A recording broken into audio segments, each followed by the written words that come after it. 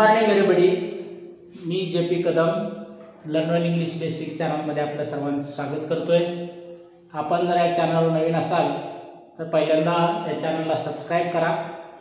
मागील काही व्हिडिओमधून आपण काळांचा अभ्यास घेतो आहे आपण साधारणपणे simple present tense simple past tense simple future tense त्यानंतर present continuous tense past continuous tense future continuous tense अशा सहा काळांचा अभ्यास गेल्या व्हिडिओमध्ये घेतलेला आहे. आज दिवस सातवा या काळाचा पार्ट सेवन आहे. तर आपण प्रेझेंट परफेक्ट टेन्सचा आज आपण अभ्यास करणार आहोत. प्रेझेंट परफेक्ट टेन्सचा टेन्सला मराठीमध्ये पूर्ण वर्तमान काळ अशी संज्ञा आहे.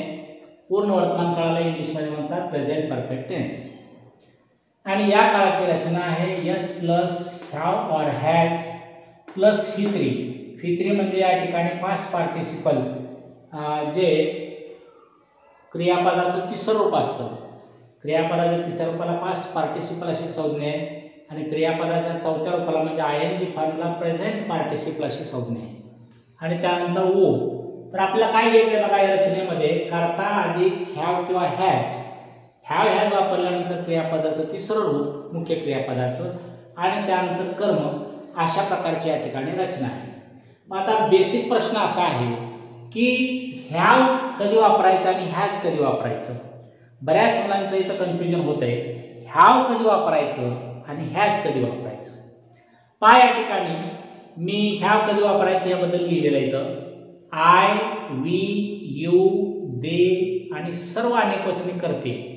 यांच्या पुढे ह्यावचा वापर होतो. ह्यावचा वापर कुठं होतोय? सर्व अनेक वचने करतं. बघा इथं. अनेक वचने करते म्हणताना वी यू दे ही अनेक वचनेच करते. फक्त या ठिकाणी आय हा एकमेव असा करता आहे की जो एकवचनी असून सुद्धा त्याच्यापुढे ह्याव आले तुम्ही आता एक लक्षात ठेवायचं की सर्व अनेकवचने करते आणि आय यांच्या पुढं ह्यावचा वापर केला जातो. आणि ह्याच पुढं वापरलं जातं.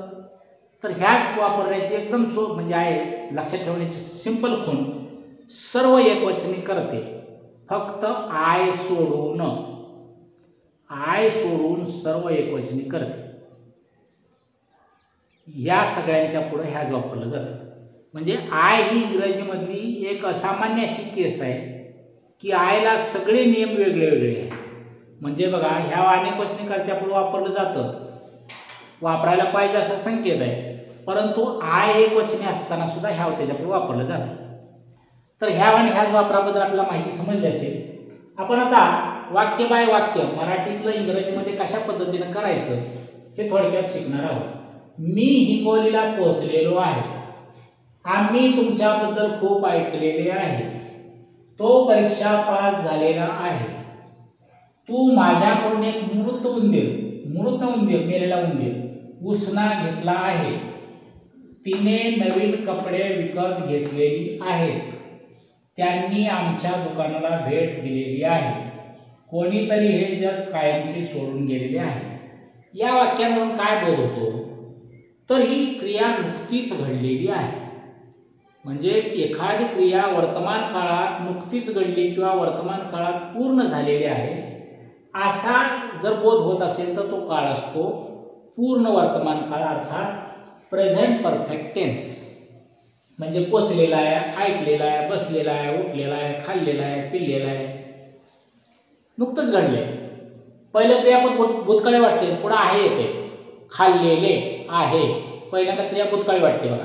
आणि नंतर मात्र वर्तमानकाळी क्रियापद आहे. म्हणजे क्रिया नुकतीच घडून गेली असेल तर त्या ठिकाणी जो काळ असतो तो असतो पूर्ण वर्तमान काळ. आणि एखादा काळ पूर्ण आहे हे दाखवण्यासाठी किंवा पूर्ण आहे कशावरून समजतं? तर ज्या वाक्यामध्ये क्रियापदाचं तिसरं रूप आलं म्हणजे क्रियापदाचं तिसरं रूप ही क्रिया पूर्ण झाल्याची खूण आहे. लक्षात घ्या. क्रियापदाला जर आयन जे असेल तर क्रिया अपूर्ण असण्याची खूण आहे. आणि क्रियापदाचं जर तिसरं रूप आलं तर क्रिया पूर्ण झाल्याचं ते लक्षण आहे आता आपण पाहूया मी हिंगोलीला पोचलेलो आहे. यातला करता कोणता आहे? तर मी सब्जेक्ट मी. आपण सब्जेक्टनुसार जाऊया. रचना कशा यस म्हणजे करता पहिल्यांदा घ्या. आय. आय नंतर ह्याव घ्यायचं का? ह्याच घ्यायचं. आताच मी तुम्हाला सांगितलं आयच्या पुढे ह्याव येतं. जरी ऐवजी आय एकच नसलं तरी. आय हॅव रिचड रिचलं काय घेतलं? तर मुख्य क्रियापदाचं तिसरं रिच म्हणजे पोचणे. रिच म्हणजे पोचणे. रिचचं तिसरूप काय आलं? Reached reach reached reached reached I have reached Hingoli I have reached Hingoli I have reached Hingoli तर इथं ही शी इट सर्व एकवचनी करते. यांच्याकडे ह्याच येतं फक्त इथं अपवाद आय आहे हे लक्षात घ्या बघा इथं माझं लिहायचं चुकून राहिलं. अपवाद आय आय सोडून सगळ्या एकवचनी करते. इथे येतं. तर इथं काय आलं बघा. मी हिंगोलीला पोहोचलेलो आहे. I have reached Hingoli. आम्ही तुमच्याबद्दल खूप ऐकलेले आहे. आम्ही तुमच्याबद्दल खूप ऐकलेले आहे. आता बघा. मी सिंपल प्रेझेंट टेन्स सांगत असताना क्रियापदाच्या तीन रूपाचा उल्लेख केलेला होता. क्रियापदाची तीन रूपं तो स्पेशल व्हिडिओ आहे. तो तुम्ही पाहा सिंपल प्रेझेंटचा आम्ही तुमच्याबद्दल खूप ऐकलेले आहे. आम्हीला काय शब्द आहे? वी. आता वी नंतर काय येतं? ह्या किंवा ह्याचपैकी. तर मी तुम्हाला सांगितलं सर्व अनेक वचनी कर्त्यांच्या पुढे ह्याव येतं. फक्त अपवाद आहे वी हॅव त्यानंतर काय? तुमच्याबद्दल खूप ऐकलेलं ऐकण्यासाठी काय शब्द आहे? हिअर हिअरचं तिसरं हर्ड वी हॅव हर्ड खूप ऐकले म्हणजे a lot about you. About you. अजून एक लक्षात घ्या. क्रियापदाची तीन रूप जे आहेत क्रियापदाची तीन रूप हा पूर्ण काळ शिकण्यासाठी सगळ्याला आवश्यक आहे. हिअर हिअर म्हणजे ऐकणे. हिअरचं तिसरं रूप आलं heard H A R D heard दुसरं रूप. आणि तिसरं रूप सुद्धा हर्डच आहे एच ए आर डी हे जे हिअर आहे ते ऐकणे. हे हर्ड आहे ते ऐकले आणि हे जे हर्ड आहे ते ऐकलेले हे रूप आपण या ठिकाणी वापरले. We have heard a lot about you त्यानंतर तो परीक्षा पास झालेला आहे. तो साठी काय शब्द आहे? ही. ही नुसार काय येईल? ह्याज येईल का ही? ह्या येईल. तर हॅज येईल. He has pass the exam he are the exam किंवा एक्झामिनेशन ही आज पाच एक्झाम तू माझ्याकडून एक मृत उंदीर उसना घेतलेला आहेस. आता इथं पास पाच तिसरं पास वापरले मी. P A double S P A double S E D आणि P A double S E D pass पासलं पासलं तिसरं रुपये पासलं तू माझ्याकडून एक मृत उंदीर उसना घेतलेला आहे. आता ह्या क्रियापदांचे नियम सखोल पाहण्यासाठी सिंपल प्रेझेंट टेनचा एक पहिला व्हिडिओ आहे तो तुम्ही जरूर पहा. याच्याबद्दल मी जास्त काय घेणार नाही. तो माझ्याकडून एक उं मृत उंदीर उसना घेतलेला आहे. आता तू तूसाठी काय शब्द आहे? करता कोणता यू? यू नुसार ह्या वेळी का ह्याच येईल तर ह्या वेळी यू ह्याव उसना घेणे बारोड बारो मूळ शब्द बारो. बारो म्हणजे उसने घेणे पण बारोचं स्वरूप बारोड बारो बारोड बारोड. बारो बारोड बारोड. तिसरं पण तेच. ते बारोड घेतलं. यू हॅव बारोड एक मृत उंदीर a dead mouse a dead mouse a dead mouse from me. You have borrowed a dead mouse from me. पाचवा किंवा तिने नवीन कपडे विकत घेतलेले आहेत. करता कोणता या ठिकाणी तिने तिने साधे शब्द काय? ती शी. करतानंतर काय घ्यायचं आपल्याला ह्या किंवा ह्याच घ्यायचं आहे पण काय एकच नाही करता हा म्हणून ह्या जे येणार नाही ह्याच येईल या ठिकाणी. शी हॅज आणि नवीन विकत घेणे. विकत घेण्याला काय शब्द आहे? तर बाय बायचं काय? तर पास दुसरं bought buy bought bought B O U G H T B O U G H T. आपला घ्यायचं आहे हे बॉट शेवट आलेलं she has bought B O U G H T काय बॉट तर नवीन कपडे न्यू गारमेंट्स किंवा न्यू क्लोथ्स काही म्हणा. न्यू गारमेंट्स अशा पद्धतीनं हे वाक्य तयार होईल. त्यानंतर बाप सहावं वाक्य. त्यांनी आमच्या दुकानाला भेट दिलेली आहे. त्यांनी त्यांनी हे ते ते काय आहे? या ठिकाणी अनेक वचन आहे. मग त्यांनीच्या साठी काय घेता येईल आपल्याला दे दे. दे. नंतर काय घेणार? भेट दिलेली आहे. पण दे नंतर आपल्याला सहाय्यकर क्रियापद सॉरी टू हॅवचं सहाय्यकर आपण घ्यायचं ह्याव किंवा ह्याच. काही या ठिकाणी दे हॅव दे हे अनेक वचन असल्यामुळे त्याच्या पुढे येणार टू हॅवचं स्वरूप काही हॅव येईल.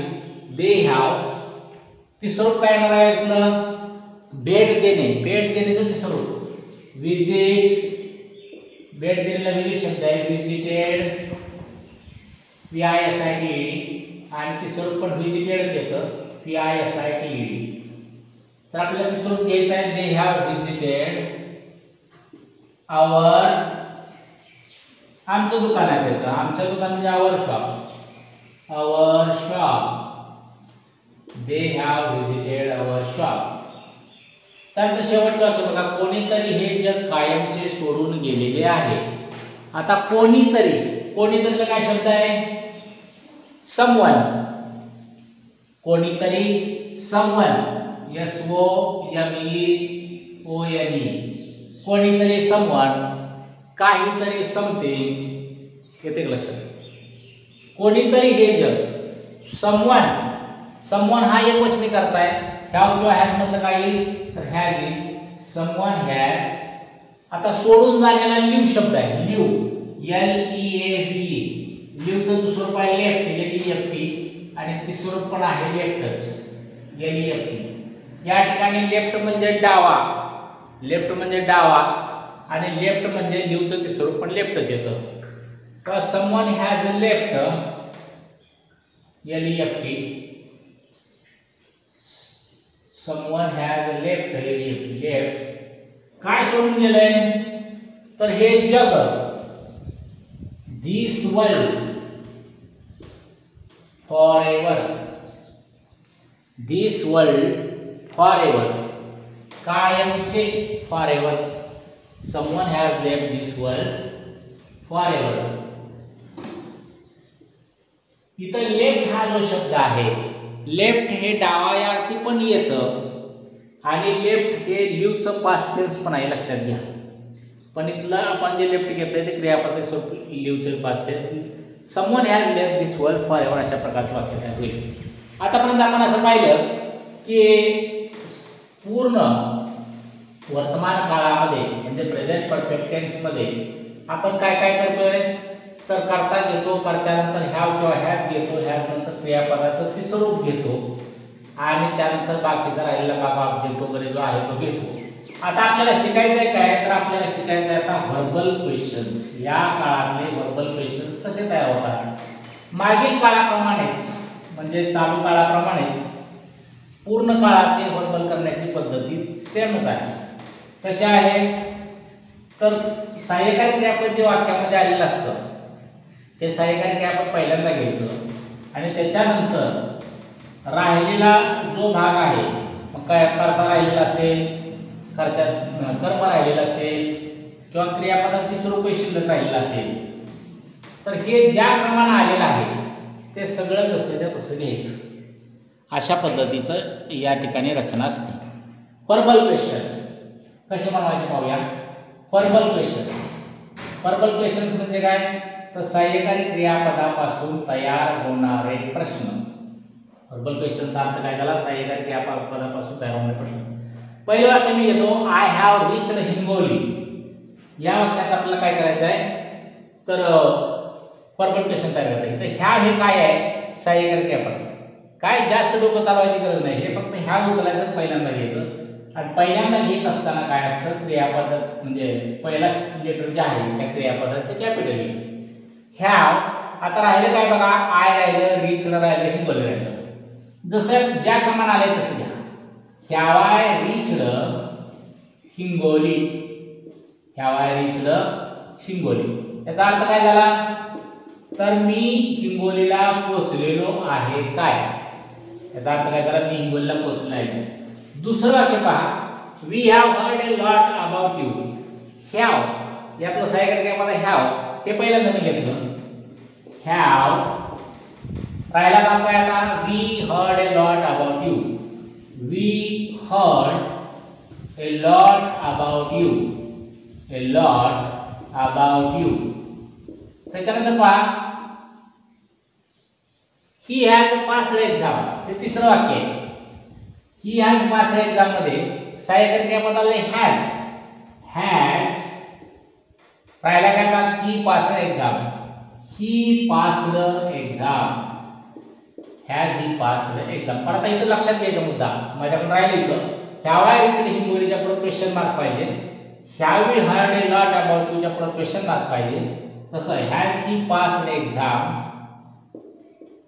याच्यापुढे क्वेश्चन मार्क पाहिजे. क्वेश्चन मार्क असल्याशिवाय प्रश्न कसा होईल? तेव्हा हे प्रश्न आहे त्याच्यामुळे याच्यापुढे क्वेश्चन मार्क देणं गरजेचं आहे. ह्या जे पास एक्झाम म्हणजे काय? तर तो परीक्षा पास झालेला आहे काय?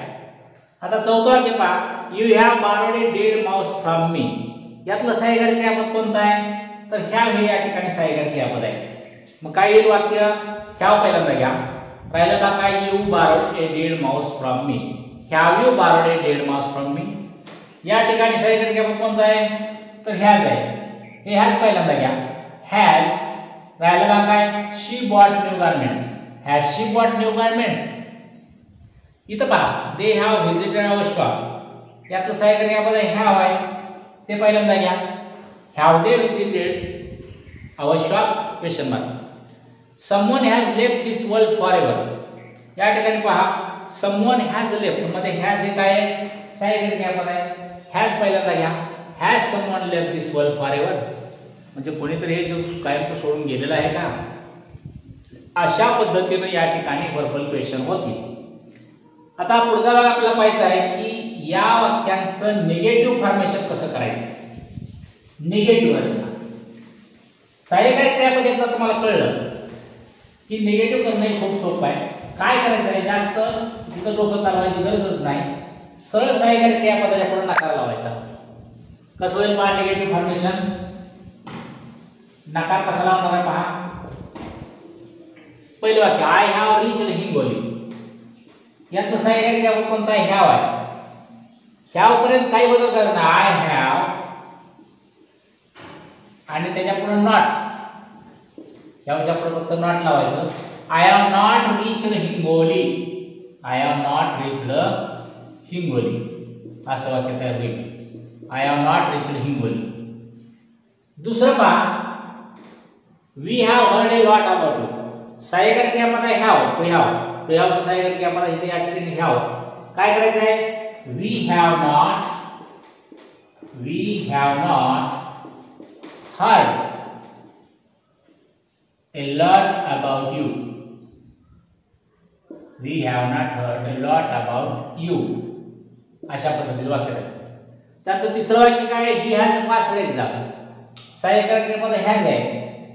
मग काय वाक्य he has not he has not pass exam he has not pass exam आता काय काय लोक? हॅव नॉट हॅज नॉट लिहिण्याच्या ऐवजी त्यांचे कॉन्ट्रॅक्टर फॉर्म वापरतात. काय हरकत नाही. कॉन्ट्रॅक्टर फॉर्म वापरा किंवा हा लॉंग फॉर्म दिले तो वापरा. काय हरकत नाही. म्हणजे हॅव नॉटचा कॉन्ट्रॅक्टर फॉर्म कसा वापरतात? हॅव नॉट हॅव नॉटचा कॉन्ट्रॅक्टर फॉर्म बघा. एच एफ पी ई लिहायचं. हे नॉट मधलं एन पहिल्यांदा घ्यायचं. नंतर ओ काढून टाकायचं आपल्याला म्हणून ओच्या ऐवजी आपण वर द्या. आणि टी हॅवंट हॅव आमचा कॉन्ट्रॅक्टेड फॉर्म संक्षिप्त रूप काय आलं? हॅवंट हॅज नॉट हॅज नॉटचा कॉन्टॅक्टेड फॉर्म काय? H S N apostrophe T hasn't मग आपण या ठिकाणी ही हॅज नॉट पासड एक्झामच्या ऐवजी ही हॅझंट पासड एक्झाम असं सुद्धा वाक्य घेऊ शकतो. किंवा we have not heard a lot about you आयच्या ऐवजी we haven't heard a lot about you दोन्ही वाक्य चालतील काय हरकत नाही. चौथं वाक्य या ठिकाणी पहा. सॉरी तिथलं वाक्य you have borrowed a dead mouse from me काय होईल याचे negative you haven't borrowed a dead mouse from me म्हणजे तो माझ्याकडून एक उसना उंदीर घेतलेला नाही.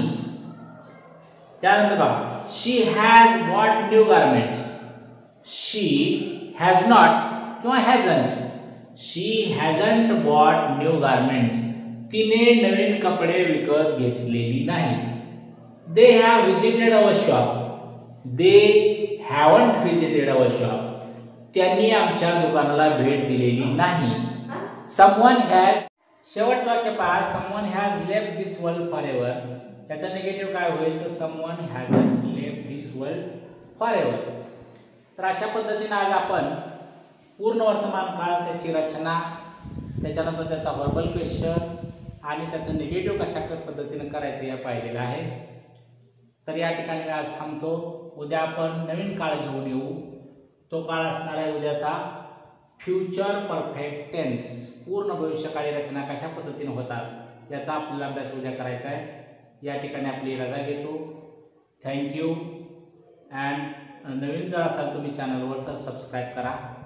सबस्क्राईब करायला चॅनल विसरू नका. Good day